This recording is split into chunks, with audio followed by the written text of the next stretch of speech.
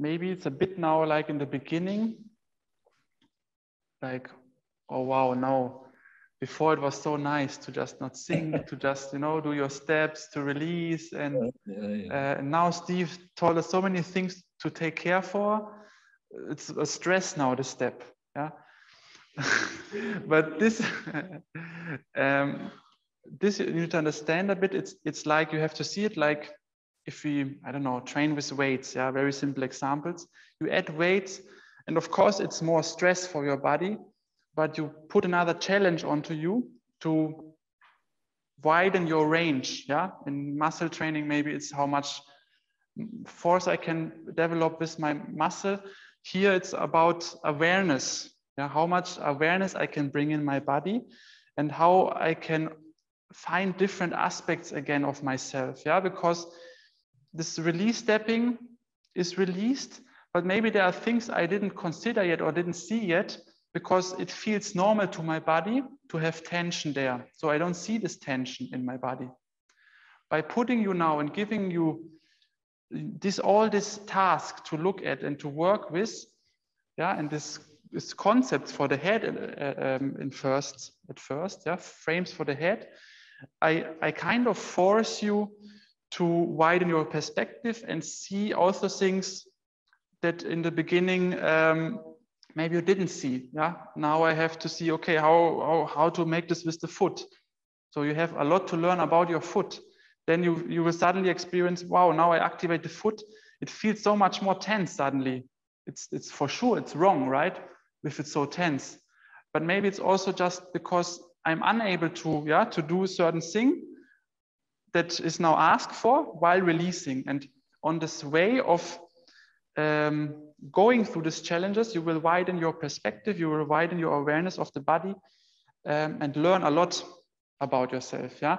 So um, the one thing maybe it feels in the beginning nicer, but it will always keep you in a certain kind of frame and comfort zone, while the other maybe feels in the beginning uncomfortable or not natural for you, but will bring things into you, will, will allow you, invite you to new realities of yourself that you didn't saw maybe before. Yeah, and this is uh, why we do that kind of work also. And also why I say maybe in the end, or in the end, I will tell you also again, let go of it. Yeah, it's not so important. But for now, it's very important for us. Um, and there's also an example I really like to, to use there. It's a bit from the samurais. Yeah, um, you have these stories about the, the huge uh, masters and the uh, samurai masters, sword fighters that can, with a very short motion, boom, end the fight. Yeah, the opponent, the young young guy is running ah! with the sword, screaming, and the master is like, Pong. so why you're screaming? So why I'm not directly do this Pong? Yeah, but still the master tells the student, no, run, run for 20 years screaming to your opponent because I also did this. Yeah, and on the way of screaming, yeah, on the way of letting everything out, you learn a lot of things about yourself and you refine yourself. But it's a trap to think I do just, I copy just the master and basically, yeah, like fake this, yeah, trying to shortcut the way. But you have to be willing to go through the sc sc screaming, through the hardship, yeah, and also, here now in the steps, this kind of difficulty that I give you, in order to really know what am I, what is my movement, what is really relaxedness, what is really letting go. If I just stay in my frame and think, ah, I already let go everything, maybe I didn't see 200 different things in my body that I didn't let go yet. And I just don't feel them because I didn't went through them or I didn't challenge them. Okay, so this is a very common process in our training, also with the forms. The 36 form is very soft in the beginning. Then we go into um, the Xiaoyaozhang. Yeah, next season we will also go into the Xiaoyaozhang with the Taiji people together yeah, all of a sudden you have to express a lot and and move fast, move slow, move uh, like all the five animals.